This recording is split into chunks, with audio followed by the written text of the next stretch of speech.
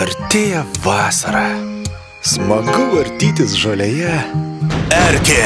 Vasaros linksmybių griovėjas. Išvenk lygų, pasilik tik linksmybės, nes tavo smegenis sunaikins vasaros linksmybių griovėjas. Pasiskiepyk dabar. www.endemic.lt Austrijoje nuo erkinio encefalito pasiskiepija beveik 90 procentų gyventojų, Lietuvoje tik 9 procentai. Austrijoje sergamumas erkinio encefalitu kelis kartus mažesnis nei Lietuvoje. Endemik skiepai šiandien ar lygos rytoj.